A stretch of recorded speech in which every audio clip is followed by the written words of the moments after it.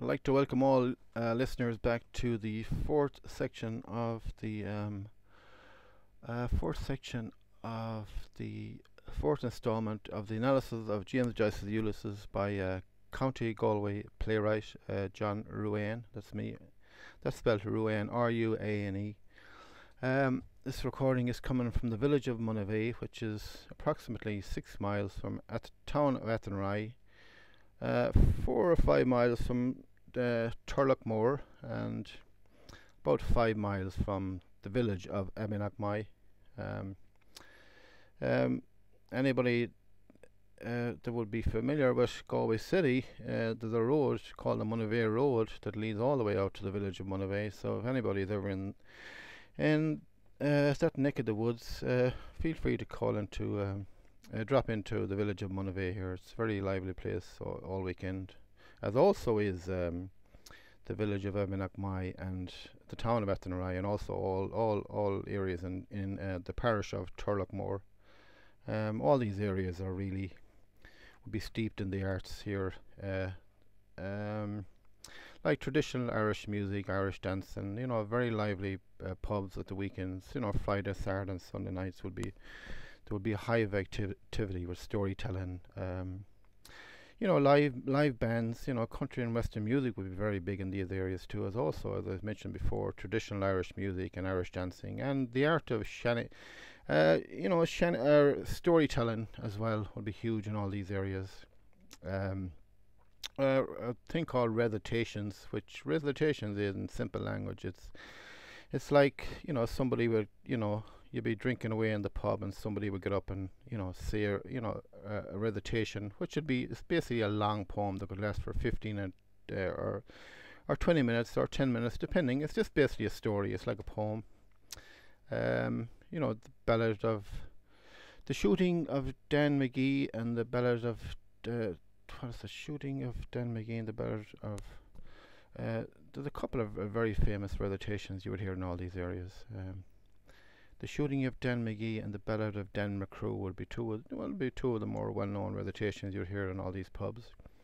Uh, generally, these areas would be they wouldn't be part of the whole tourist system here in the west of Ireland, but this really is the lifeblood of of uh, of the real Ireland. You, but you know you'll meet the real Irish people there, but uh, you know, with no no frills, as I say, like, but very friendly, very friendly people in all these areas, and all these areas would be steeped, as I said before, in like medieval history, like, uh, you know, r- oh, you know, ruined round towers. Um, uh, going back to the time of the Vikings and the Normans when they were here, you know, throughout Irish history, and you know, there's many ruined castles, and actually many um, many many castles that have been restored in all these areas as also there's be a lot of you know ruined you know Catholic churches and also ruined uh, Protestant churches uh, you know in all these areas as well like and uh, I mean some of these are a sight to behold as such unbelievable architecture going back for hundreds and if not thousands of years.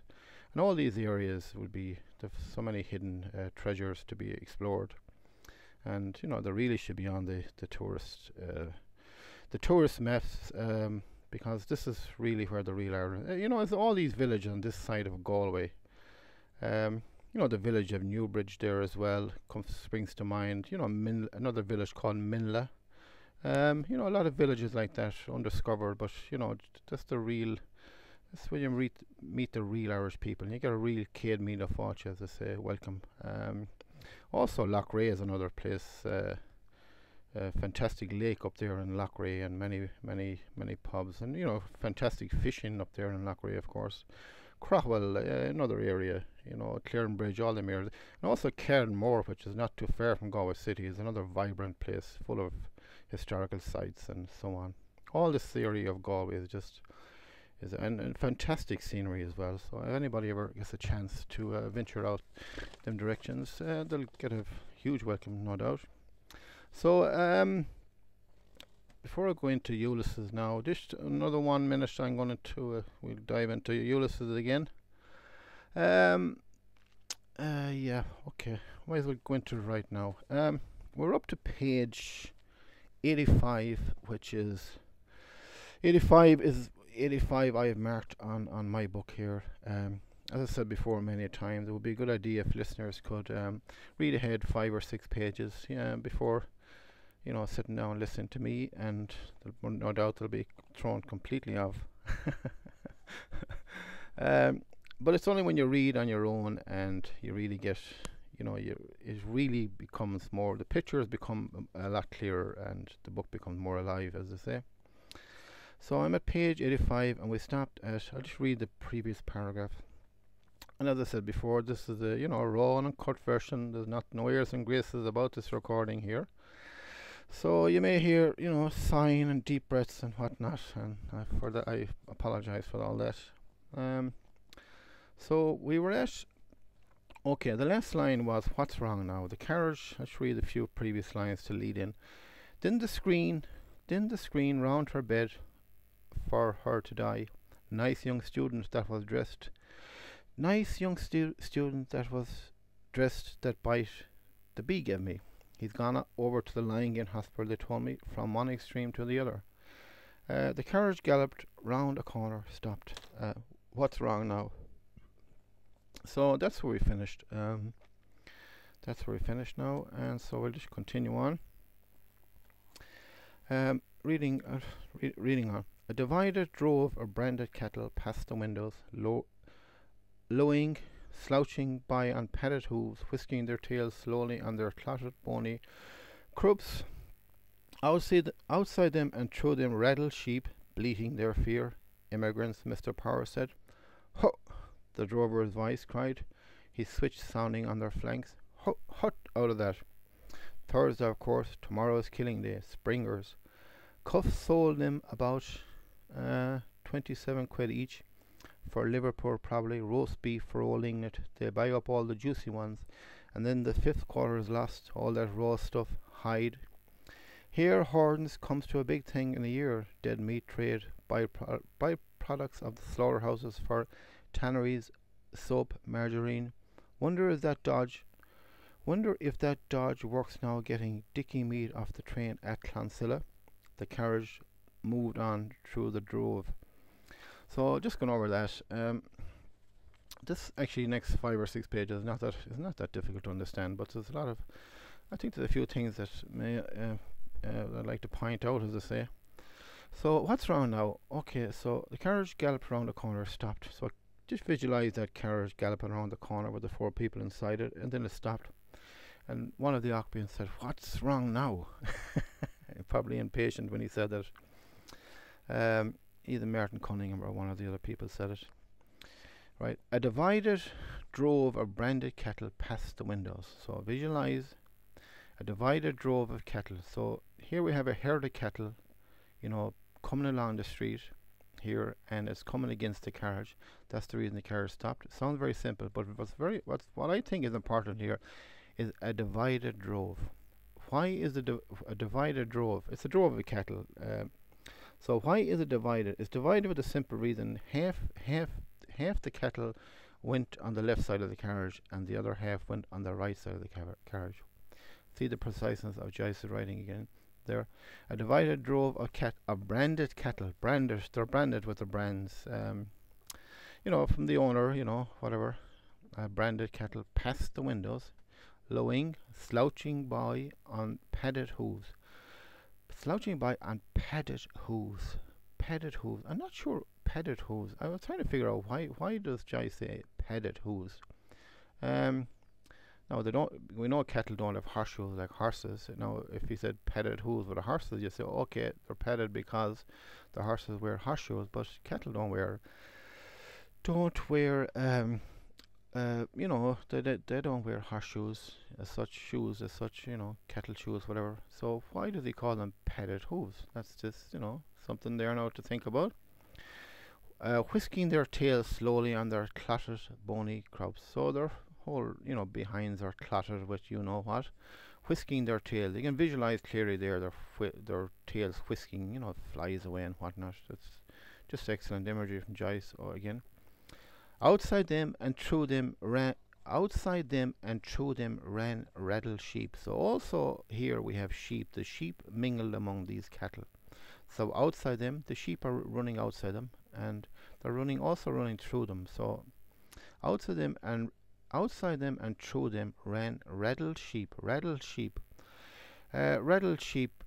Raddled sheep. Raddled means they also have a, got a mark like uh, cattle would be branded. They would have a mark. Uh, a um, a would mean it's usually red or blue. It's like it's um, how would I describe this now? Any any sheep you see like a red mark. It's it's something wouldn't be similar to chalk, something like that, and they rub it on.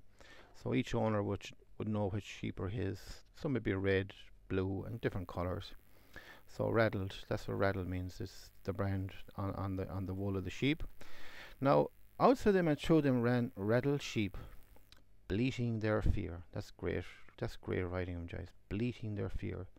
So these sheep and also cattle are very frightened because they're in, they're now they're in the city and they're all came from the country, obviously, and they're you know bleating their fear. So they're all they're all frightened. You can you know visualize all that bleating, but bleating their fear is that's great writing as such, you know. Uh, next line, immigrants. Mr. Power said. So Mr. Power called them immigrants. Why did he call them immigrants? Um, uh, he called them immigrants because they're about to immigrate to uh, to England, actually, uh, as we'll read on and we'll find out. So he called them immigrants. They're about to be shipped off to England. That's why he called them immigrants. Huh! The drover's voice cried. So the drover is the is the owner of these cattle and sheep, whatnot. Um, so this is the you know, huh! This is how he's. this is the language he's using to that's exactly what they would say here with driving cattle or cows or sheep. They say, "Huh, how is that?" Huh, the driver, the drover's voice cried. He switched, sounding on their flanks. First, he switched, little stick. Uh, we come across the word switch before in the earlier on the story. The peel, uh, unpeeled switch. Uh, his switch. Uh, it's a, it's a, you know, it's a little stick like a, a thin piece of a branch that he uses. You know, just to you know herd the cattle with sounded on their flanks. He's giving them little tips along. Huh, out of that. So, next line. Thursday, of course. Tomorrow is killing day. So this is Leopold Bloom thinking here again. Uh, Thursday, of course. So now we know today is Thursday. Um, Thursday, of course. Tomorrow is killing day. So tomorrow is killing day. They're going to be all killed tomorrow. Springers. These cattle are springers. Um, I'm not sh- exactly sure what springers are. I should know this because you know, I was really, I really come from a country area in Monivea here, and uh, there's a lot of uh, huge farming community around Monivea, and I would have known that, but I've just forgotten. Uh, springers, um, Springer, uh, young cattle, I would say. Uh, Cuffe sold him, Cuffe sold them about 27 quid each. So someone that sells cattle, his surname is Cuffe, he sold them for 27 quid each. So cattle in them times, in the early 1900s, were 27 quid each, 27 pound each, pretty cheap. Um, for Liverpool probably, so Leopold Bloom is still thinking here for Liverpool. So these cattle and sheep are going to be shipped off to Liverpool. Roast beef for old England, so they're going to England. They buy up all the juicy ones. Um, they buy in meaning England buys up all the juicy ones, and then the fifth quarter is lost. So now he's thinking about every cattle that that will be killed. One fifth of that cattle will be lost, um, and then the fifth quarter is lost, like all the raw stuff, like the hide, the hair, the horns, and he now he's thinking, but it all it, it adds up a lot. Comes to a big thing in a year. So in a year, this will come to a lot. Dead meat trade. This is what he's thinking dead meat trade, byproducts of the slaughterhouses for tanneries, soap, margarine. So all this stuff, you know, all this leftover stuff is used in soap and margarine. I think everybody knows that kind of. Wonder if that Dodge, wonder if that Dodge works now, getting dicky meat off the train at Clonsilla. So Leopold Bloom is still thinking here. And once upon a time, uh, there was some kind of a scam going where you could buy cheap meat. Um, off a train, you know, uh, at Clonsilla. I wonder if that dodge, that scam works now getting dicky meat off the train at Clonsilla. Getting meat cheap, it could be possibly stolen or something along them lines. Moving on, the carriage moved on through the drove. So the carriage moved on and the cattle are still on the left hand side. You can visualize that pretty clearly. Reading on, I can't make out why the corporation doesn't run a tram line from the park gate to the quays Mr. Bloom said all those animals could be taken in trucks down to the boats. Um, instead of blocking up the thoroughfare, Martin Cunningham said, quite right, they ought to. Yes, Mr. Bloom said, and another thing I often thought is another thing I often thought is to have municipal funeral trams like they have in Milan, you know, run the line out to the cemetery gate gates and have special trams, hearse and carriage and all. Don't you see what I mean? Oh, that be damned for a story, Mr. Dallas said. Pullman care and saloon dining room. A poor lookout for Corny, Mr. Power added. Why, Mr. Bloom asked, turning to Mr. Dallas. Wouldn't it be wouldn't it be more decent than galloping two abreast? Well, there's something in that, Mr. Dallas granted, and Martin Cunningham said we wouldn't have scenes like that when the hearse capsized round Dunphy's and upset the coffin on the road. That was terrible, Mr. Powers. Mr. Powers, shocked face said, and the corpse fell about the road. Terrible. First round Dunphy's, Mr. Dallas said, nodding. Gordon Bennett, cop. So, going over, reading over that again. Uh, the carriage uh, moved on through the drove of cattle I can't. No, Leopold Blumer says this. I can't make out why the corporation doesn't run a tram line. The corporation, like the government, doesn't run a tram line from the park gate to the quays. From the park gate to the quays, probably from you know where they sell these cattle, from there to right down to the boats to the quays. Mr. Bloom said all those animals could be taken in tracks down to the boat. Taken, or sorry, all those animals could be taken in trucks down to the boat. Yeah, you know, instead of bringing them on the street. Pretty good idea, probably. Instead of instead of blocking up the thoroughfare, Martin Cunningham said, "Quite right, they ought to." You know, so that's pretty. Um, next line, Mr. Yes, Mr. Bloom said, and another thing, I often thought. Uh, yes, Mr. Yes, Mr. Bloom said, another thing, I often thought is to have municipal funeral trams like they have in Milan. You know, run the line out to the cemetery gates and have special trains, hearse and carriage and all. Don't you see what I mean? so, um, uh, do, do, do, Mr. Bloom. You know, he's more saying we should have government funeral trams like they have in Milan, run the line out to the cemetery gates, uh, and have special trains, horse and carriage and all, don't you see?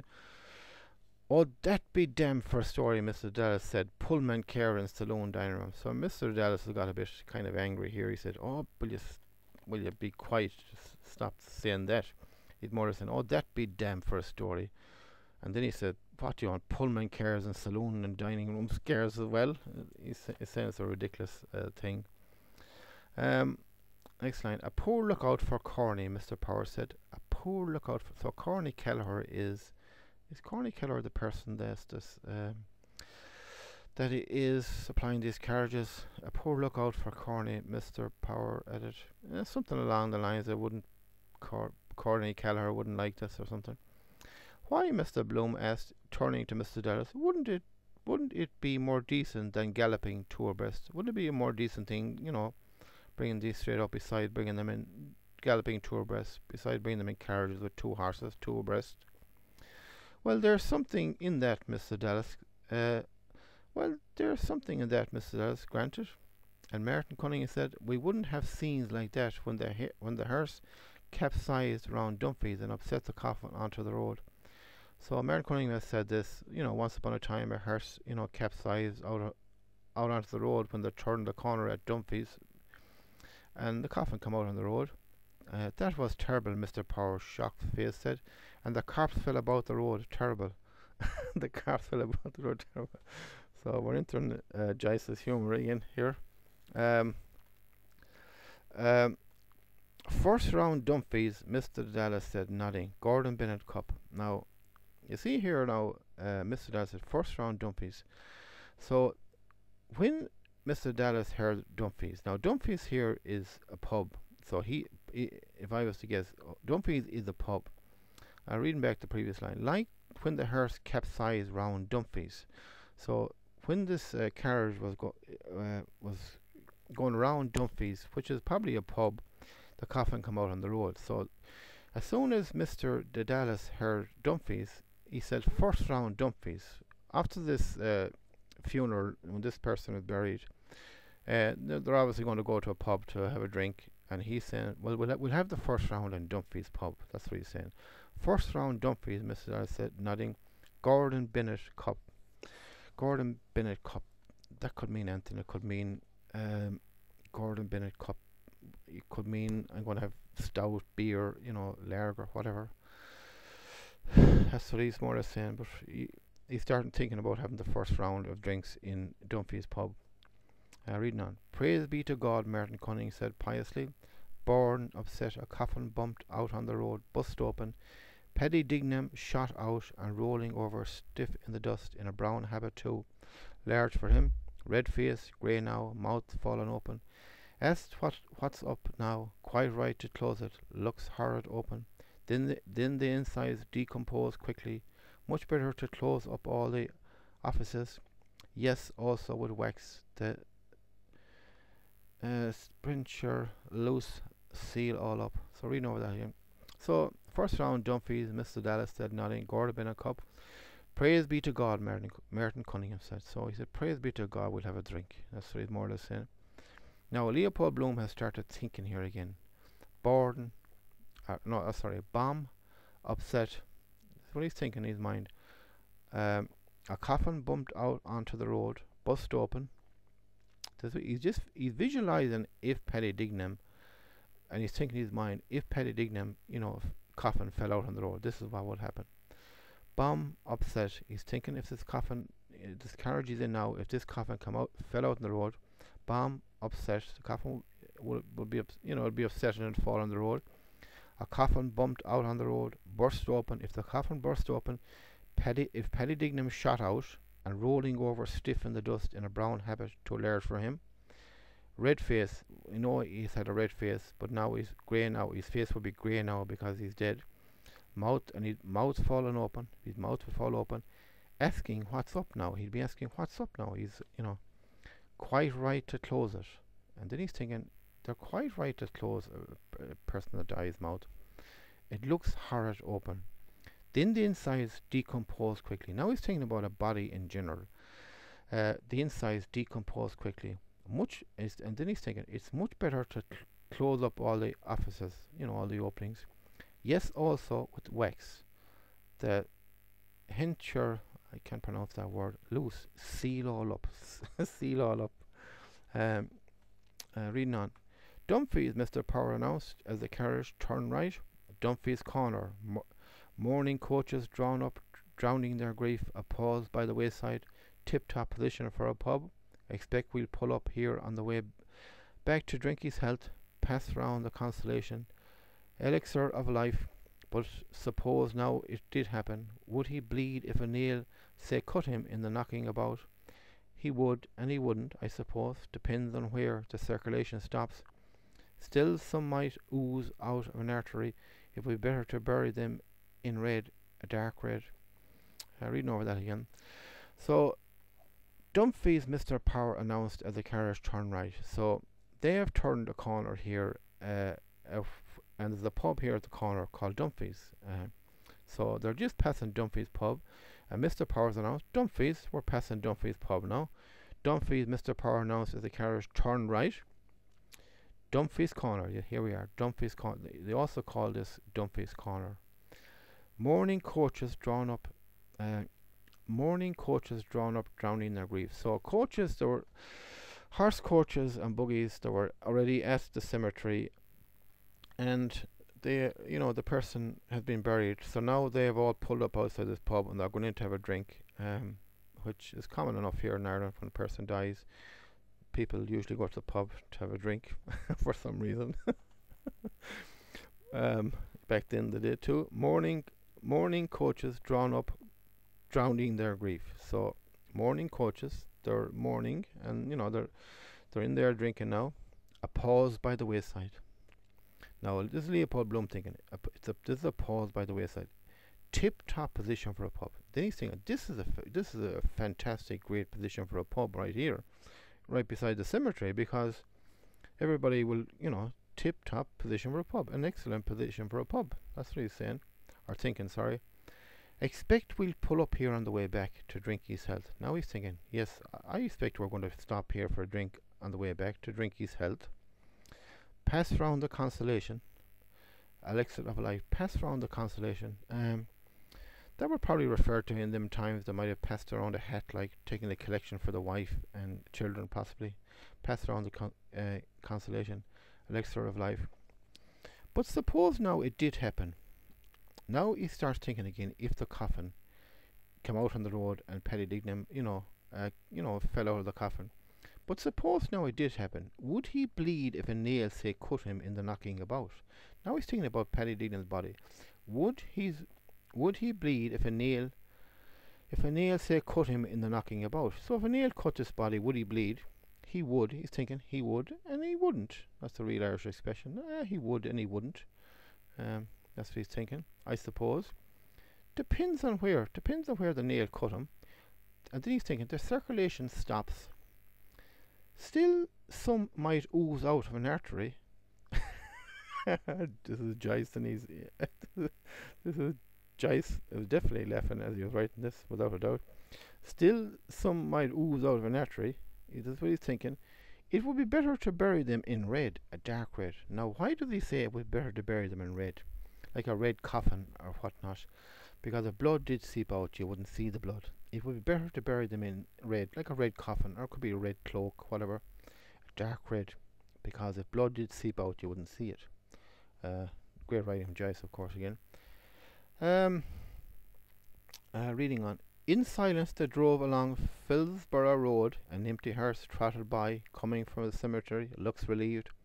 Cross Guns Bridge, the Royal Canal.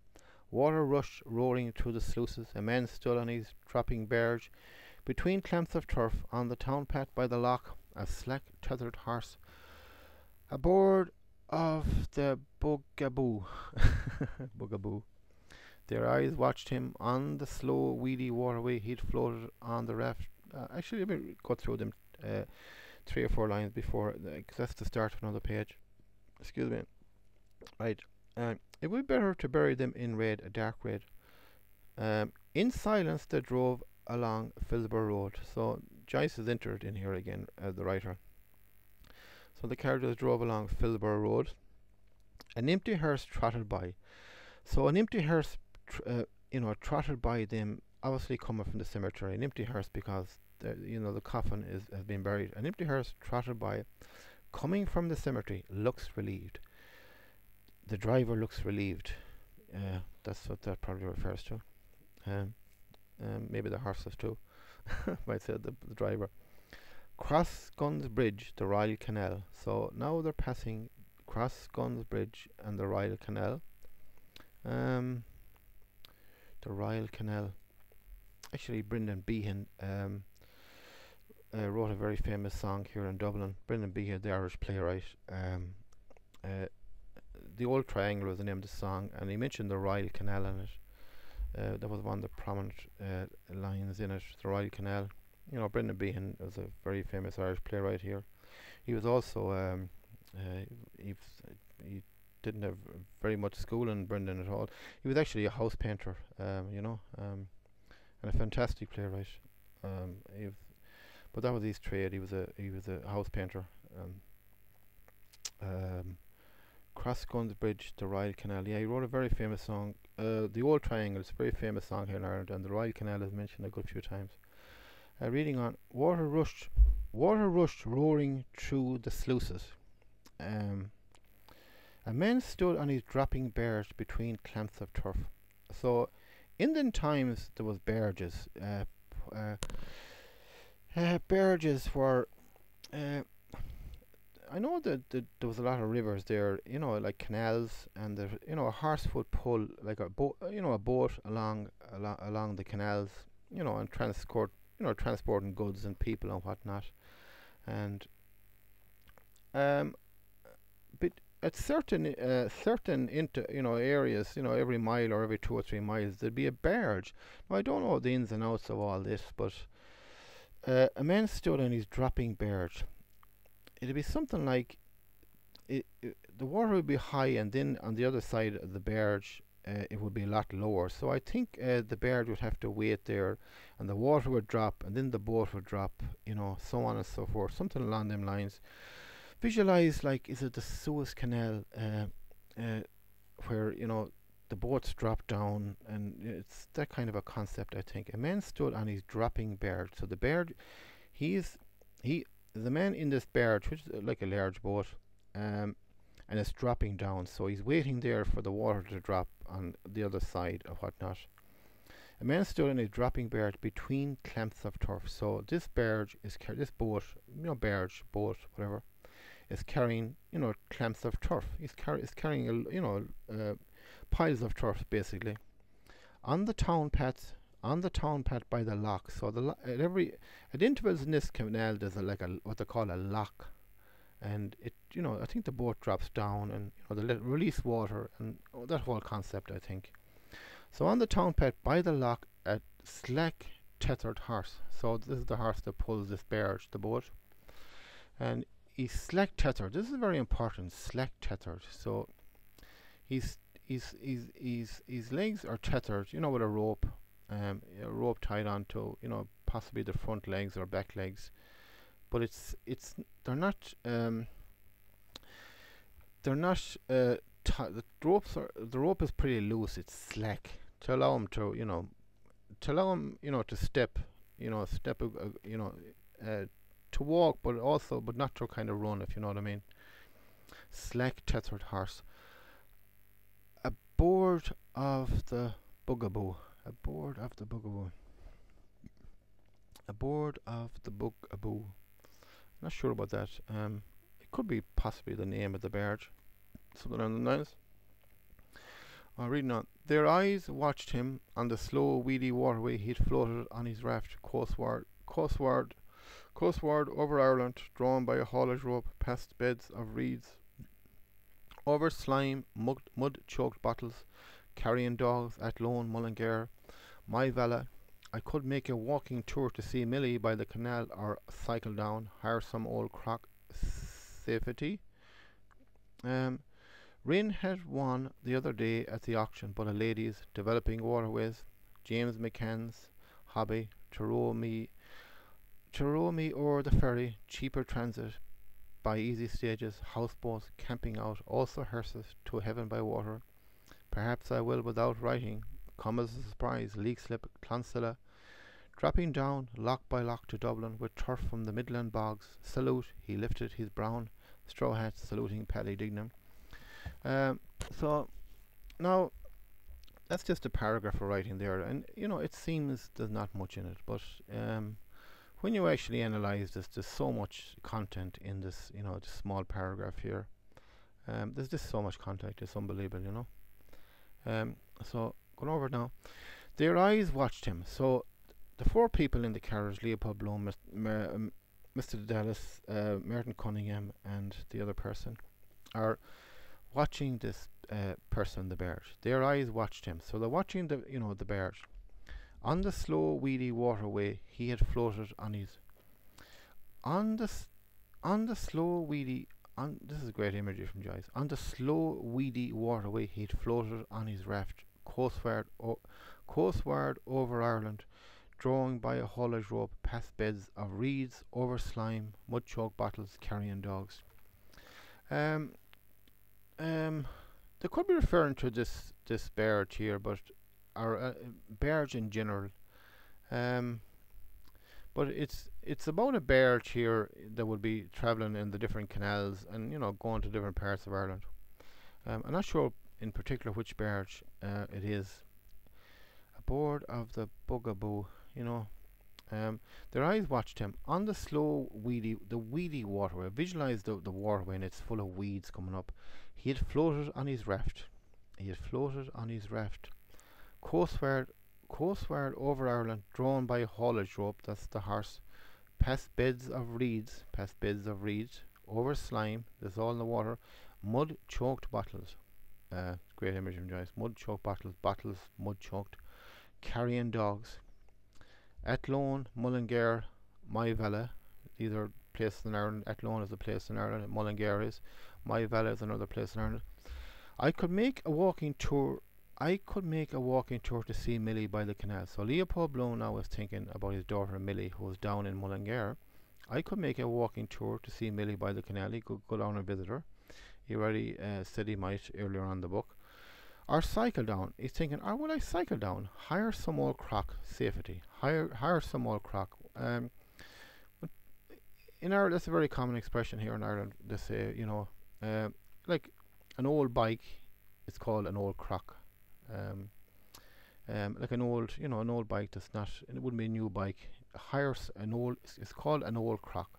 Hire some old crock safety. He's thinking about if I hired an old, if I hired out an old old crack of a bike and cycled down there. Wren had won the other day at the auction. Wren, so per, uh, persons called Wren, that's his surname, had a bike the other day at an auction, but a lady, but it was a lady's bike. Uh, difference between a lady's bike and a men's bike, but it was a lady's bike.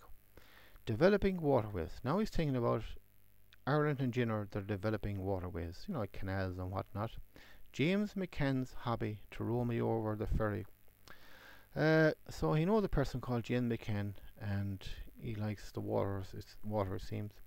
Now he's thinking it is cheaper transit. You know, uh, barges and boats is cheap. You know, cheaper transit by easy stages and houseboats. He's also thinking about this. Yes, there's houseboats. There's you know boats on these canals where people live in them camping out. It's like camping out. Also hearses. Uh, they may bring, you know, hearses. Um, they may bring, you know, coffins and whatnot on these barges to heaven by water. to heaven by water. if you were, you know, a hearse, if you were um, in a coffin, you know, going on the water to heaven by water. Perhaps I will without writing. Now he's thinking, perhaps I will visit my daughter Milly without writing, without telling her I'm coming come as a surprise. I go there as a surprise. Leaks and Leixlip, Clonsilla. Now these are two places in Dublin, Leixlip and Clonsilla. This is the way he's, he's to, he's thinking he will go down there. Dropping down, uh, yeah, now he's thinking about going on these barges down to Mullingar, dropping down lock by lock to Dublin. Uh, that's more or less what's going on there. With turf from the Midland bogs. Uh, leaks common spies dropping down lock by lock to Dublin with turf from the Midland bogs. So obviously in these barges to bring turf from you know, the middle the Midland bogs, you know, from different parts of Ireland. They bring bo- you know turf on these and to different parts of Ireland, you know, Dublin probably. Salute. He lifted his salute. No. Salute. Salute. No. He probably put up his hand at the person in the barge. He probably waved at him. He saluted him another another way of saying it. He saluted him. Leopold Bloom probably saluted him. Uh, he lifted his brown hat, saluting. So the person in the bird lifted his brown straw hat, saluting, and he saluted Paddy Dignam because he saluted the carriage because you know he lifted you know he lifted his brown hat. Uh, the person in the bird lifted his brown hat, you know, saluting Paddy Dignam, the person that had died, basically. Uh, reading on. They drove on past Brian Bar Im house, near it now. I wonder how their friend Fogarty getting on, Mr. Power said. Better ask Tom Kernan, Mr. Dedalus said. How is that? Martin Cunningham said. Left him weeping, I suppose. T uh, um, uh, though lost to sight, Mr. Dedalus said to memory, dear, the carriage steered left for Finglas Road the stone-coloured yard on the right, less lap, crowned on the spit of land, silent shapes appeared, white, sorrowful, holding out came hands, knelt in grief, pointing, fragments of shapes hewn in white silence, appealing, the best obtainable. Thomas H. Dennany, Dennany, uh, the light is not very good in here. Dennany, monumental builder and sculpture past. Uh, so reading over that again, they drove on past Brian Bar Imhay's house, um, near it now. So Leopold Bloom was thinking, near we're near now. They're past a certain house, and he said we're near the cemetery now. So someone has spoke here. I wonder how is our friend Fogarty getting on? Mr. Power said. So Mr. Power said this. Better ask Tom Kernan, Mr. Dedalus said. So he, you know, inquired about a person called Fogarty. How is that? Martin Cunningham said. Left him weeping, I suppose. How is that? Martin Cunningham said. Left him weeping, I suppose. Not sure about that. Um,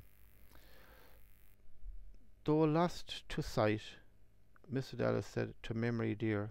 I'm not sure about that. I have to think about that more. The carriage steered left for Finglas Road, so the carriage is going along Finglas Road or towards Finglas Road. Um, the stone cutters yard on the right. So on the right here, they see uh, a person that makes like headstones and all that. Um, you know, headstones for the cemetery. The stone cutter's yard on the right. Last lap. Leopold Blumestein. This is the last lap of this journey. Crowned on the spit, crowned on the spit of of land, silent shapes appeared. Crowned on the spit of land, silent shapes appeared. What are they? They are headstones. Now, they start to see headstones. White, sorrowful, holding out calm hands. These are, you know, designs on the headstones. Knelt in grief, um, pointing. These are all the headstones. Fragments of shapes, headstones, hoon. Now, um, actually, these are in the stonecutter's yard. These are not actually in the cemetery yet. In white, or you know, um, they could be in both actually. In white silence, in white silence appearing, the best obtainable. Thomas H. Denny, monumental builder and, sculp- and sculptor. So this is the name of the person that has this stonecutter's yard. He's, he's you know, that's, his name. Passed. Um, so they must have passed it. Reading on. On the curbstone before Jimmy Geary, Geary the sexton, Jimmy Geary the sexton's, an old tramp sat, grumbling, emptying the dirt and stones out of his huge, dust brown, yawning boot after life's journey. Gloomy gardens. Uh, hold on a second. I'm not having a hard job seeing this here now. Um, uh, where are we? Tall at all. Gloomy gardens then went by one by one gloomy houses. Mr. Power, Mr. Power pointed. That is where Childs was murdered, he said, the last house. So it is, Mr. Dedalus said, a gruesome case. Seymour Bushe got him off, murdered his brother, or so they said. The Crown had no evidence, Mr. Power said. Only circumstantial, Martin Cunningham said. That's the maxim of the law. Better for ninety nine guilty to escape than for one innocent person to be wrongfully condemned. uh, so reading on there, uh, going back over that again. On the curbstone before Jimmy Geary's, um, Jimmy Geary is a sexton, so I don't know what a sexton is actually. Um, but on the curbstone before Jimmy Geary's, a sexton's, um, there's a person, you know, whatever he is, uh, building. An old tramp sits, an old tramp sitting down. Gro- he's grumbling, of course, emptying the dirt. grumbling, I've got just throwing the grumbling there. Emptying the dirt and stones out of his huge, dust brown, yawning boot. That's great writing, Joyce. So this tramp is sitting down and he's he's he's emptying dirt and stones out of his huge, dust brown, dust brown, dust brown from walking all the time, yawning boot. Why did they say yawning boot? Because it's like the boot the boot has been is relieved to be taken off and getting a bit of fresh air. More or less, I'd say, you know. After life's journey, gloomy gardens then went by one by one gloomy houses. So they're passing gloomy gardens and gloomy what look like gloomy houses. Mr. Power Mr. Power pointed. That is where Childs was murdered, he said, the last house. So they're passing they're coming close to a house and there was somebody called Childs murdered there. So it is, Mr. Dedalus said, a gruesome case. Seymour Bushe got him off. That's that would be the uh, solicitor. Um, so it is, Mr. Dedalus said, a gruesome case. Seymour Bushe got him off. That would be the solicitor, or the say in America, the the liar, the lawyer. Seymour Bushe got got him off, murdered his brother. Uh, so he must have murdered his brother, this child, or so they said. The Crown had no evidence, Mr. Power said. The Crown, uh, meaning the Crown, meaning in England, uh, that's what the Crown means. The Crown had no evidence, Mr. Power said. Only circumstantial, Martin Cunningham said. That's the maxim of the law. Better, it's better for 99% guilty to escape than for one innocent person to be wrong, wrongfully condemned. Um, humor, great humor from Joyce again. Um, reading on. They looked, murderer's ground, it passed darkly, shuttered, tenant, tenantless, unweeded garden. Whole place gone to hell, wrongfully condemned, murder, the murderer's image in the eye of the murdered. They love reading about it. Um, let me go over that now because I'm about to turn the page here now. The Crown had no evidence, Mer- Mr. Power said. Only circumstantial. Martin Cunningham said, that's the maximum of the law. Better for 1990. Yeah, I read that. They looked, uh, um, they looked murderer's ground. So this is the house where the person was murdered. Mur- it's a murderer's ground. It passed darkly. So they're passing by and it's like a dark, gloomy place. Shuttered. The house is shuttered up. You know, the windows are shuttered up. Tenantless. There's no, it's tenantless. There's nobody living there unweeded garden. You see the way Joyce captures everything about this house. Shuttered, tenantless, unweeded garden. It's unweeded garden. There's nobody living there. Whole place gone to hell. Wrongfully condemned. Um, murder. now this is a great line coming up from Joyce. The murderer's image in the eye of the murdered. Uh, the you know. If you think about that, the murderer's image in the eye of the murdered because the person about to be murdered, he would that's the last thing he would see, the murderer's image in the eye of the murdered. Uh, so Leopold Bloom started uh, thinking here now. They love reading about it. Man's head found in a garden. This is, uh, let me read on. They love reading about it. Man's head found in a garden. Her clothing consisted of how she met her death, recent outrage, the weapon used, murderer is still at large, clues, a shoelace. The body to be exhumed, murder will out. Cramped in this carriage, she mightn't like me to come that way without letting her know. Must be careful about women, catch them once with their pants down, never forgive you after fifteen. The high railings of prospects rippled past their gaze, dark poplars, rare white forms, forms more frequent, white shapes thronged amid the trees, white forms and fragments streaming by mutely, sustaining vain gestures in the air. Uh, so reading back over that again. So the murderer's image in the eye of the murderer. That's just a brilliant line from Joyce there. That's that's another that's another example of, you know, writing as a as opposed to storytelling. That is writing at its best. The murderer's image in the eye of the murderer. Now Leopold Bloom has started thinking here. They love reading about it he's thinking about people in general love reading about murder. They love reading about it. Men, and now he's thinking about what they would be reading about. Men's head found in a garden. her clothing consisted of how she met her death, recent outrage. These are the headlines. The weapons used. Murder is still at large. Clues. A shoelace. The body to be exhumed. Murder will out. Murder will out. Um, so, uh, just Joyce captures the whole picture there again. Cramped in this carriage.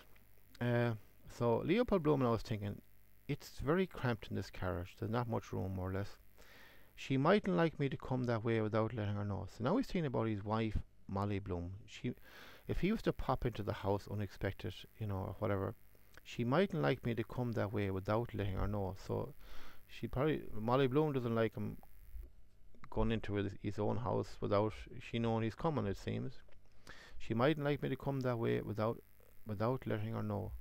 So his house not far away from this cemetery, possibly, and he was thinking about after the funeral, he might, you know, go in there, and so that's what must be. And then he's thinking, you must must be careful about about women. Yeah, he's more saying you must be careful with women. must be careful about women. Uh, catch them once with their pants down never forgive you after. 15. How true is? Oh, that's very true, isn't it? Uh, must be careful about women. You must be careful with women, more or less. Catch them once with their pants down. They'll never forgive you after. 15. Um, I don't know what he means by 15 there, to be honest. Uh, catch them once their pants down. Never forgive you. 15. Um, uh, you probably have to think about that, listeners. You know, what do you mean by 15 there? Um, the high railings of prospects rippled past their gaze. Um, that's a great line of writing from Joyce there.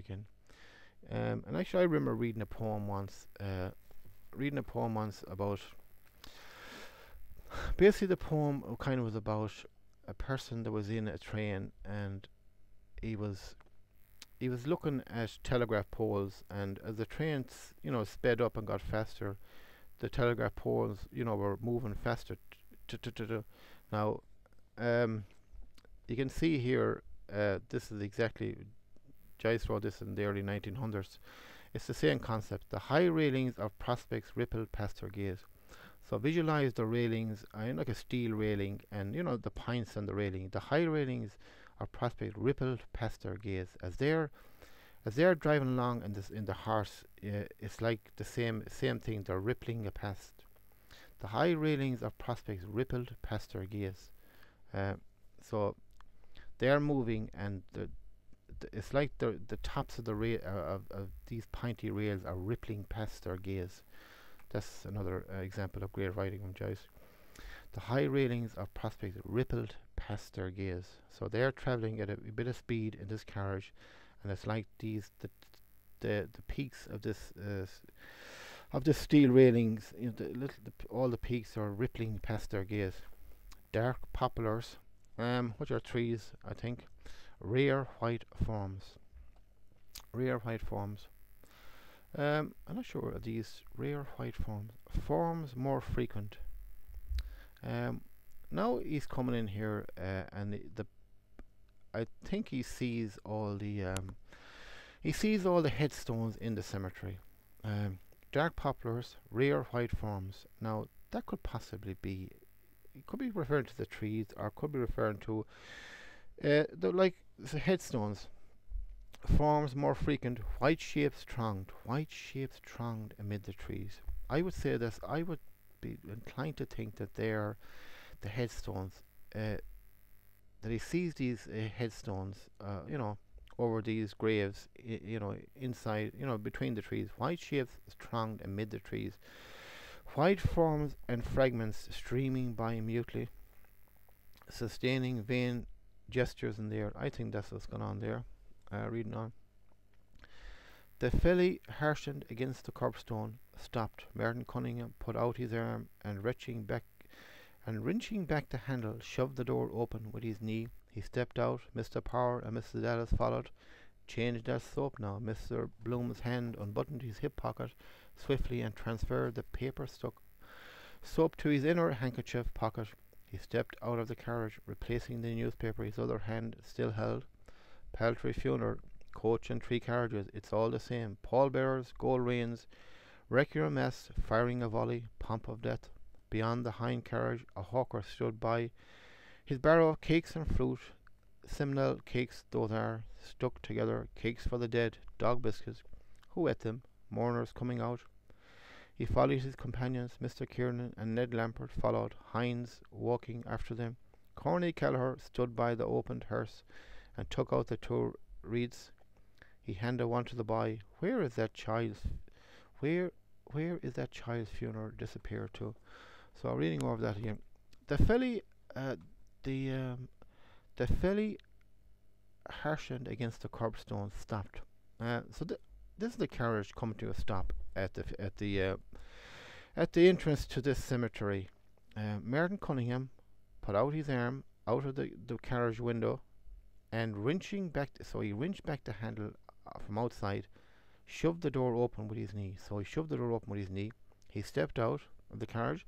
Mr. Power and Mr. Ellis followed him out. Change that soap now, Mr. Bloom. Change that soap now. Mi- so Leopold Bloom, if you remember uh, previously, when he got in the carriage, the soap was kind of underneath his um, underneath his leg, and he didn't want to change it because it was too awkward. and He didn't want people to see him in the carriage doing it. So now that they've all left the carriage, uh, he says he's going to change. Cha- I'll change that soap now. Change that soap now, Mr. Bloom. Mr. Bloom's hand unbuttoned his hi- unbuttoned his hip pocket swiftly, and transferred the paper stuck soap to his inner handkerchief.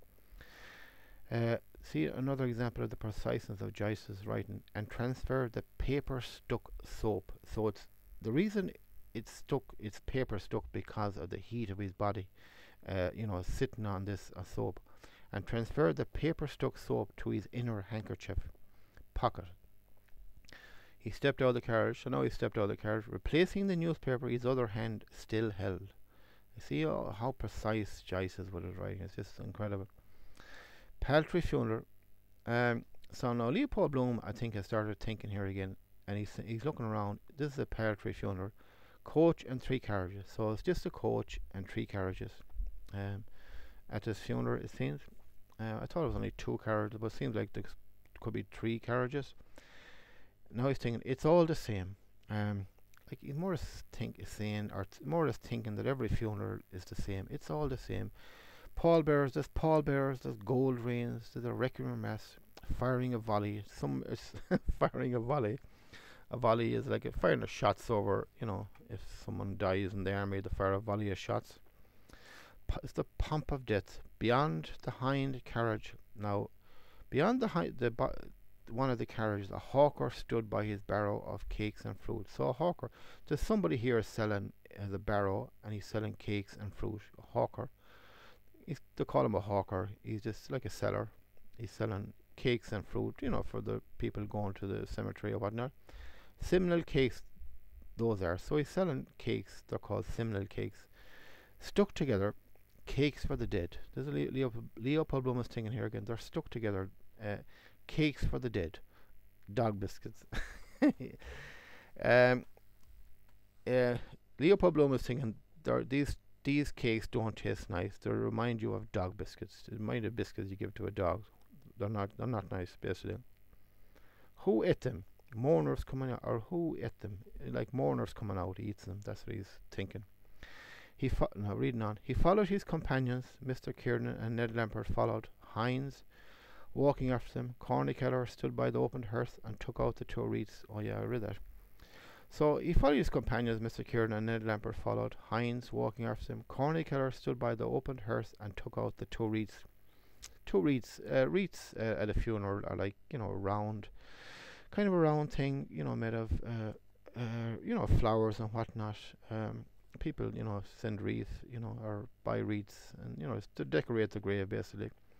He handed one to the boy. So he handed one to a boy, uh, I would say the son of Paddy Dignam. What? Where is that child's funeral disappeared to? Disappeared to? So now Leopold Bloom is thinking here.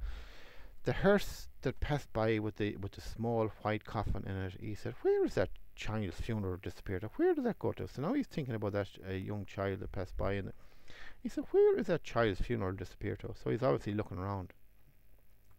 Reading on, a team of horses passed from Finglas with tiling, plodding, red. A, a team of horses passed from Finglas with tiling, plodding red, dragging through the funeral silence a creaking wagon on which lay a granite block. The wagoner marching at their heads saluted. Coffin now got here before us, dead as he is, horse looking round at it, with his plume skew ways, dull eye, collar tight on his neck, pressing on a blood vessel or something. Do you know what they cart out here every day? Or do they know what they cart out here every day? Must be twenty or thirty funerals every day. Then Mount Jerome for the Protestants. Funerals all over the world, everywhere, every minute. Shoveling them under by the cart load by the car is it cart yeah, cart load double quick. Thousands every hour, too many in the world. So reading over that again. Where is that child's funeral disappeared to? So Leopold Bloom is thinking that. So a team of horses passed from Finglas with tiling plodding red. With tiling plodding red. Dragging through the funeral silence a creaking wagon. So there's a team of horses here, probably four horses here. And uh, this is a great image from Joyce. So uh, dragging through the funeral silence, the silence of this funeral, then this creaking wagon. And why is the wagon creaking? Because on this wagon there's a l- which lay a large granite block. So there's a, like a large headstone on this creaking wagon, and that's the reason it's creaking, and that's the reason that uh, it needs a team of horses of probably four horses to pull it. A team of horses passed from Finglas with tiling plodding, so it because it's heavy, red, dragging through the funeral silence a creaking wagon on which lay a granite block, a granite block for a, you know obviously for a headstone. The wagoner marching at their heads saluted. So the, the you know the person that's leading these horses, you know, he saluted, you know, Paddy, you know, uh, all the people at Paddy Dignam's funeral. Uh, coffin now. Now, Leopold Bloom has started thinking here again. Coffin now. And he's thinking, got here before us. The coffin got here before us, dead as he is. the coffin got here uh, dead as he is. This is what he's thinking. Horse looking around at it with his plume skew ways. So the horse is looking around at the coffin. There's a Leo- Leopold Bloom is thinking all this, you know, and he's thinking dull eye. He's got a dull eye, and the collar on that horse is tight on his neck. It's pressing on a ve- blood vessel or something. Um, you know, the horse's collar. And then he's thinking, do they know what they cart out here every day? So Leopold Bloom is thinking, do these horses know what they cart out here every day? Must be 20 or 30. F- and then he's thinking, there must be 20 or 30 funerals every day. Then Mount Jerome for the Protestants. So Mount Jerome is is a cemetery, I'd say, for the Protestants. He's thinking. Then Mount Jerome for the Protestants, where the Protestants bury their people. And then he's thinking, there's funerals all over the world, everywhere, every minute. Shoveling them under with a cartload, double quick. That's what he's thinking. Uh, thousands every hour, you know, funerals. Just too, and he's thinking, too many in the world. Reading on. Mourners came out through the gate, woman and girl, lean jawed, harpy, hard woman at a bargain, her bonnet awry, girl's face stained with dirt and tears, holding the woman's arm, holding the woman's arm, looking up at her for a sigh, for a sign to cry, vicious face, bloodless and livid. Um, yeah, going over that now there again. Uh, shoveling them under with a cartload double quick, thousands every hour, too many in the world. Mourners come out through the gates, so these are mourners coming out from the gates. They're after burying somebody. A woman and a girl, uh, probably they buried their husband. She buried her husband, and a girl, the daughter. Lean jawed harpy, lean jawed. So the woman here is lean jawed harpy. Hard woman at a bargain. So Leopold Bloom possibly knows this woman. Uh, oh no no no! Uh, mourners come out through the gates. Now this could be the wife here of uh, Paddy Dignam actually, and the daughter. Um, mourners come out through the gates. Woman and a girl, lean jawed, happy, hard woman at a bargain. So this she's a hard woman at a bargain. Uh, this this woman, her bonnet awry, her bonnet awry, or ha- or ha- or hat. Girl's face stained with dirt and tears. So the girl's face is stained with dirt and tears. That's great image from Joyce. Holding the woman's arm, she's holding her mother's arm, looking up at her for a sign to cry. Fish's face, bloodless and livid. So that's her face. It's like a fish's face. It's bloodless and livid. And anybody has ever been at a funeral, I'm sure most people have, you would see that sometimes you would see, you know, younger people especially, their whole face would be like pure bloodless and livid. Pure, nearly pure white. Fish's face, bloodless and livid. Uh, Joyce just captured that completely there. Um, just one second now here. Let's look. Check the time. Okay. Um, just one second now. Should I drink a tea here?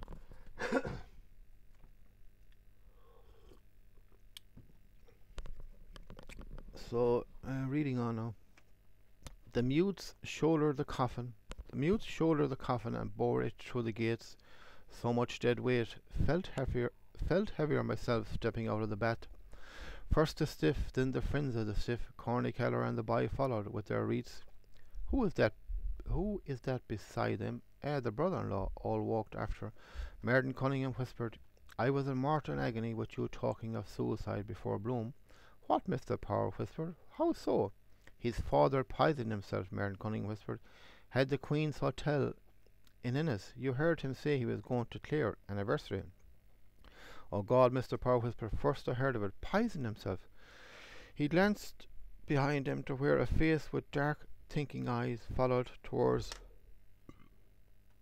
the Cardinal's uh, mausoleum, speaking. Was he insured, Mr. Bloom asked. So reading over that again. The mutes shoulder the coffin.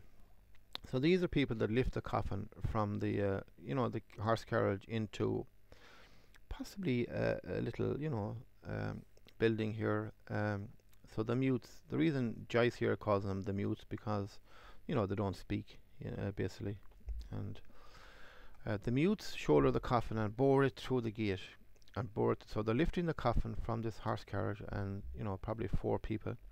So much dead weight. So Leopold Bloom here is thinking here, so much dead weight. Dead weight because the body is dead. Get it? so much dead weight. Uh, felt heavier myself stepping out of the bat. So Leopold Bloom is thinking here, I felt heavier myself when I stepped out of the bat earlier in the day. First the stiff. Now he's thinking first the stiff, the body, then the fringe of the stiff, fringe of uh, of the of the body. Corny Kelleher and the boy followed. This is the son of Paddy Dignam, I'd say, with their wreaths. Uh, you know the wreaths, the flowery things, the round things they're carrying. Who is that beside him? Now there's somebody beside him, and Leopold Bloom is thinking, who's that beside him? Uh, the the brother-in-law. That's the brother-in-law, uh, the wife's brother, right? All way, all walked after. So all the other mourners are walking after them. The first to coffin, didn't these people, and they are walking after them. Martin Cunningham whispered. So Martin Cunningham has whispered to one of the other people, "I was in mortal agony with you talking of suicide before Bloom."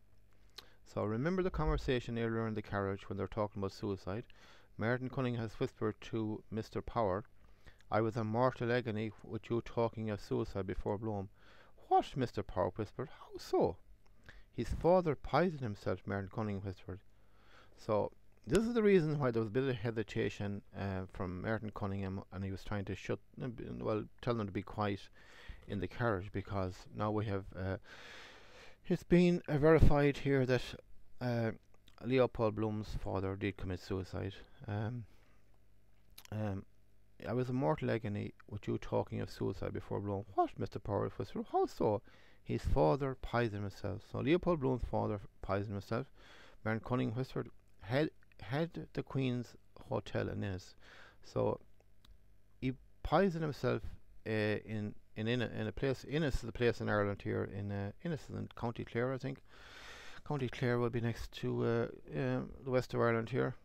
Uh, at uh, in in, the, in so he committed Leopold Bloom's father committed suicide in the Queen's Hotel in Ennis. You heard him say he was going to cl- yeah County Clare. I was right. Look at that. He was. Sa- you heard he w- him had a good friend from uh, County Clare, in in London. Um, um, you heard him say he was going to Clare anniversary. So, Martin Cunningham said to Mr. Power, you heard him say. So Leopold Bloom remember, remember he said he was going to Clare uh, for some on some business. So Martin Cunningham has surmised here, I guess, that it's He's going there for the anniversary of his father's death. Oh God, Mr. Power whispered. First I, he- I heard of it. Poisoned himself. Um, reading on. He glanced behind him to where a face with dark, thinking eyes followed towards the card- Cardinal's Madeleine speaking. Um, so th- the other two people in the carriage didn't know that uh, Leopold Bloom's father had committed suicide. The only one that knew was Martin Cunningham, and he was trying to shush them up and, you know, they continued talking about it. Um, oh God, Mr. Burwitzer, first I heard of it, himself. He glanced behind him to where a face with dark, thinking eyes followed towards the Cardinal's mausoleum. So they're bringing the coffin into this kind of a small mausoleum, which is a small building, before the, it goes off to be buried. Speaking, was he insured? Mr. Bloom asked. So Mr. Bloom uh, has asked somebody, was he insured? Um, I believe so, Mr. Kernan answered, but the policy was heavily mortgaged. Martin is, is trying to get the youngest into Artane. How many children did he leave? Five, Ned Lambert said. Says, uh, five, Ned Lambert says he'll try to get one of the girls into Todd's. A sad case, Mr. Bloom said gently. Five young children. A great blow to his poor wife, Mr. Kernan. Indeed, yes, Mr. Bloom agreed. Has the left, has the, has the left at him now? He looked down at the boots he had blackened and polished. She had outlived him, lost her husband, more dead for her than for me. One must outlive the other. Wise men say there are more women than men in the world. Condo- condole with her your terrible loss. I hope you'll soon follow him. For Hindu widows only. She would marry another, him no. Yet who knows after widowhood not the thing since the old queen died drawn on a gun carriage, Victoria and Albert, Frogmore Memorial mourning. But in the end, she put a few violets in her bonnet, vain in her heart of hearts, all for a shadow. Console not even a king, her son was the substance. Something new to hope for, not like the past. She wanted back, waiting, it never comes. One must go first, alone under the ground, and lie no more in her warm bed. So reading over that again. Um, okay, was he insured? Was he insured, Mr. Bloom? So Mr. Bloom has asked somebody here, uh, was Paddy Dignam insured? Was there, you know, is there an insurance policy? I believe so, Mr. Kernan answered. I believe he was insured, but the policy was heavily heavily mortgaged. So it was heavily mortgaged. So whatever money he's going to get on his death, it's you know he, uh, he won't get it all because it was heavily mortgaged. Martin is trying to get the young youngster into Artane. So Martin, Martin Cunningham, possibly uh, as a friend, is trying to get one of Paddy Dignam's kids into Artane, which is a school, Artane school, I would say. Probably, a, you know, a pretty prestigious school, possibly. How many how many children did he leave? So Leopold Bloom was asking, how many children did, did Ned Lambert leave? Five. Five Ned Lambert, or no, or Paddy Dignam, sorry. Uh, five Ned Lambert said he'll try to get one of the girls into Todd's. So this Paddy Dignam left five children, and Ned Lambert, you know, as a friendly gesture, is going to try and get one of the girls into Todd's, which is another school, uh, probably a good school as well. Um, so they're all going to help out the family and whatnot. A sad case, Mr. Bloom said gently. Five young children. Great blow to the poor wife, Mr. Kernan added. Indeed, yes, Mr. Bloom agreed. Has the less left at him now? So I think Leopold Bloom has has the less left at him now. Is probably thinking that the wife has the less left at him for some reason, because uh, she's outlived him or something. He looked down at the boots he had uh, blackened and polished. Um, so Leopold Bloom is looking down at his at his at his boots. You know, he, he had polished and blackened and whatnot. She had outlived him, lost her husband, uh, the wife, uh, more dead for her than me. Leopold Bloom is thinking here now. This Paddy Dignam is more dead for her than me, because she's the wife. One, and then he's thinking, one must, you know, couples in general, husbands and wives, one must outlive the other. Wise men say. And then he's thinking, there are more women than men in the world. Um, that's what he's thinking. Um, con, con, condole with her. Now he's thinking, I must condole with her, console her, you know, uh, after the funeral, shake hands with her and say sorry for your loss. Yeah, here we are. Your terrible loss. Uh, that's what that means. I hope you'll soon. And he's thinking, he's kind of thinking, imagine if I said to her, I hope you'll soon follow him. so, you know, after this funeral, he shake hands with her and he says, sorry for your troubles and, you know, sad day and so on. And he's just thinking probably if he, if this slipped out, I hope you'll soon follow him. How silly that would sound. For Hindu widows only, uh, she would marry another. So I think he's more or less saying Hindu women can marry another when their husband dies, possibly. Him, no. Yet, who knows after? Widowhood, wi- and now he's saying widowhood is not the same, is not the thing since the old queen died. So possibly could be referring to Queen Victoria here.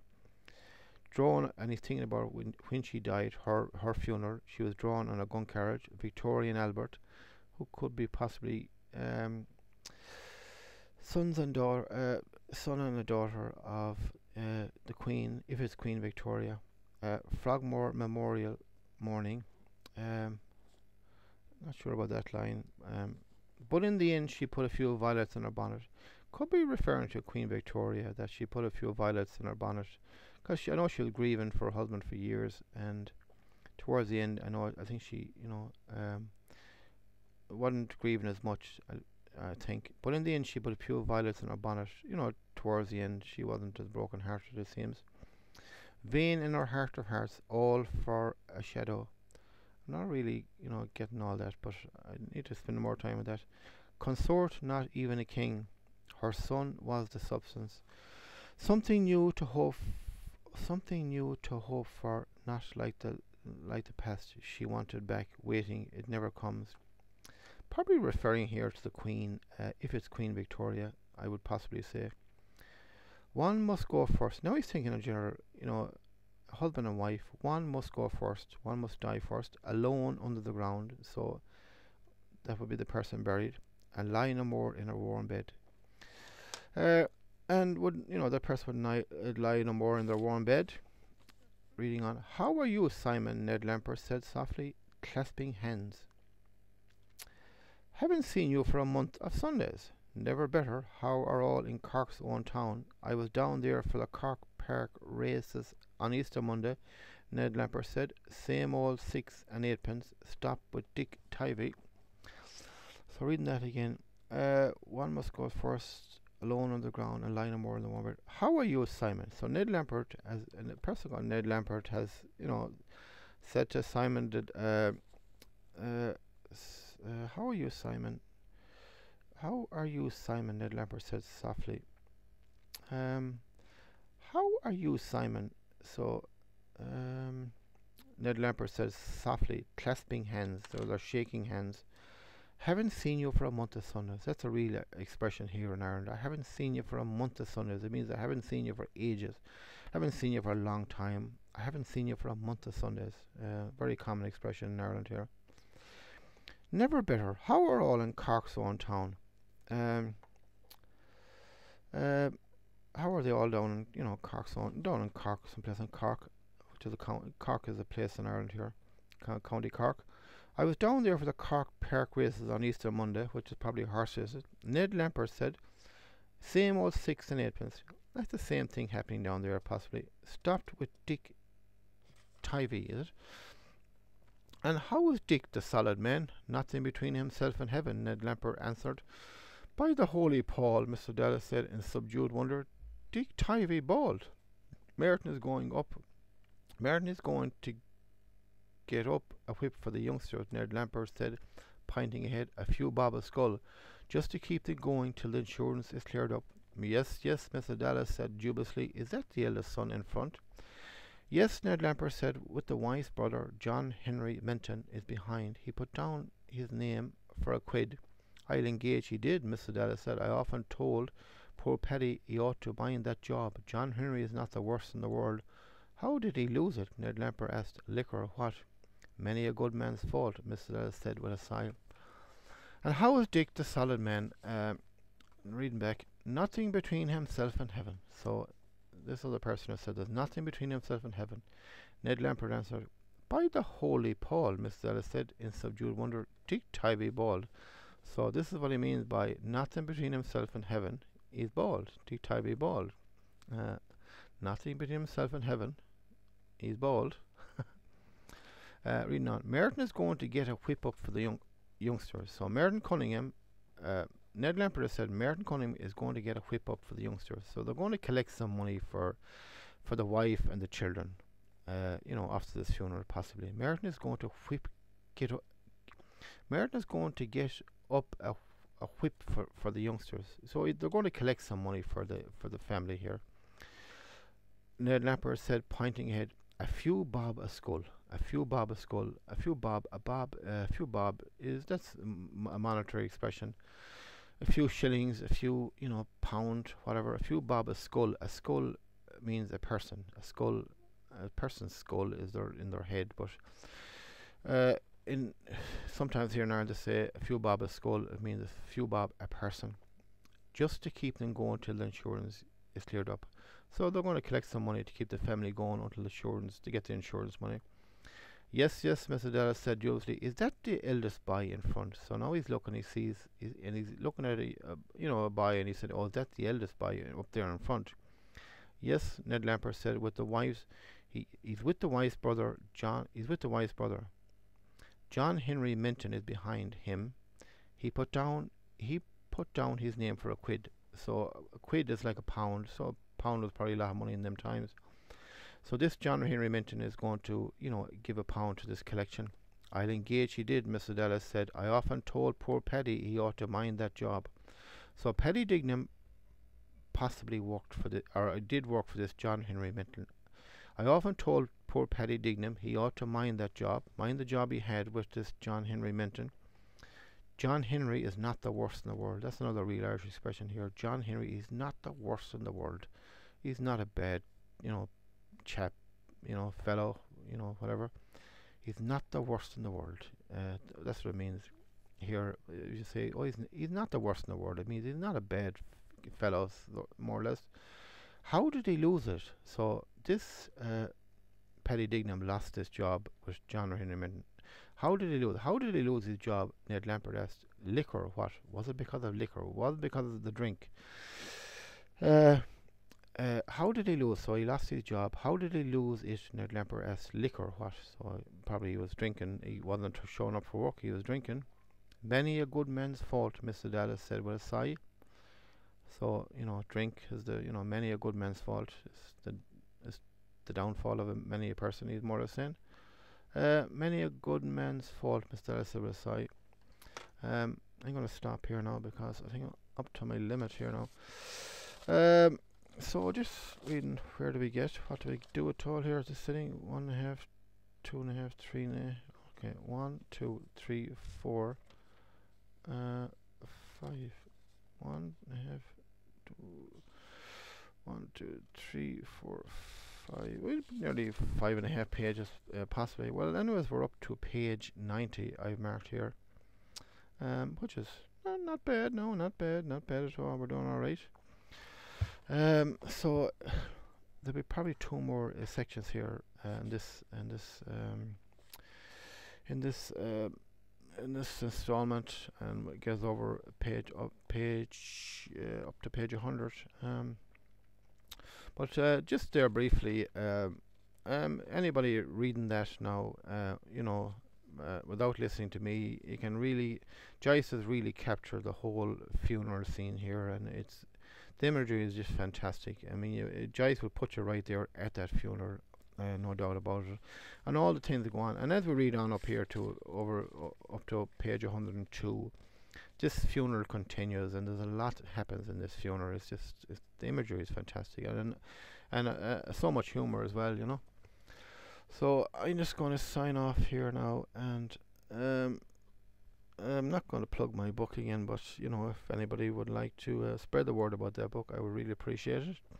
And actually, just before I go, I would like to actually um, name out uh, name out my the short stories in that book, nine stories from Aevinom, which is a link here from this recording. And the, na- the nine, as I said before, these nine short stories, they're also nine one-act plays, as each story is is over 95% dialogue, and um, they're you know they're this the book the whole book is practically all dialogue, you know. So uh, the name of the short stories are the first of uh, which are actually I, I like to say the the one I play is. Uh, so the first one I play is called Roadworthy. The second one is called Job Corruption. The second, uh, and the third uh, short story slash uh, one I play is called Irish Immigration. The next one is called An Irish Funeral. The next one is called Merriment. The next one is called Manipulation. The next one is called Smoking. The next one is called Brown Paper Bags. And the last short story slash one-act play is called Aevinom River. And the other two short, the other two short stories slash one-act plays I've also written. Uh, one is called "Stop Being So Fearful," and the last one is called "Chinese Food." And now my two full-length plays are called "Desperations," which was actually staged out in New York in um, uh, in the year 2000, as I said before, at, a theatre called Theatre for New City, and got excellent reviews from the uh, Village Voice out there, and also the Irish Voice newspaper and the Irish Echo newspaper uh, with a cast of 11. And that play, that's a full in play. Uh, a running time for that would be 1 hour 50 minutes. Uh, that's called Desperations. And my other full in play is called Behind Closed Doors, which is a play that's about, a, it's, yeah, it would be approximately 1 hour and 50 minutes also. Now, Behind Closed Doors, I've that play, I've that play written 10 years ago and also copyrighted 10 years ago. And that's my other full in play. Uh, just to my two full-length plays are Desperations and Behind Closed Doors, and th uh, the rest there are all my uh, 11 one-act plays. And I was just actually adding up the total cast for all them plays. Actually, is is actually I, I was I said 80 before. It's actually 87, 87 characters. Uh, so there's a hell of a lot of excuse me.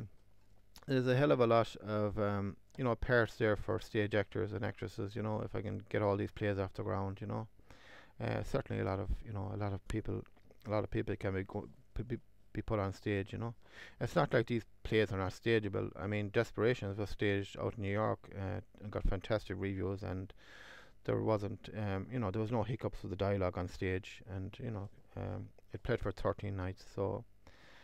Um, anybody says, "Oh well, it's not stageable," it already was staged you know so this you know this, this you can't that cannot be denied and also behind closed doors is a fantastic play I think it's very hugely entertaining and all these, as I said, these uh, if people purchase that book, um, um, and actually I think it might be a good idea if stage actors and actresses, you know, especially in the Galway County area or Galway as such, because um, very soon I'll be looking for a cast of 24 to act in um, three one act plays, uh, 12 actresses and 12 actors. Um, and the three the three one act pl plays that will be uh, will be staged will be um, will be uh, will be seen in one second. Uh, job corruption, Irish immigration, and uh, stop being so fearful. Um, I'm going to think. I think I'm going to combine that all into one one act play, and the other one will be Chinese food. Will be the second uh, one one act play, and the third one will be uh, the third one I play is is what's uh, the other one? An Irish funeral. There will be the three. There will be the three. Uh, the three um, the three one act plays that I would like to uh, get staged first of all. Um, uh, as I said, an overall cast of 24. And, you know, if people, you know, become acquainted or, or read them short stories from that book, Nine Stories from Aevinom, you know, they can, they can, th- them are the lines that's going to be used on stage. So, you know, um, if they read the, if they're reading the dialogue there, them are the lines, them are the lines that will be used on stage. So, so people get an, an idea of what the plays are about and it may be a good idea, you know, if stage actors and actresses, you know, could, you know, if they could purchase that book and, you know, they'll read the lines themselves, you know, and because, you know, uh, very soon I'm going to get them three play a stage, you know, and um, that's about it. Now I'm going to have to sign off Monivea here, the village of Monivea, um, and until the next uh, the next recording. Um, I'd like to say goodbye and thank all listeners for um, tuning in, as they say. Goodbye.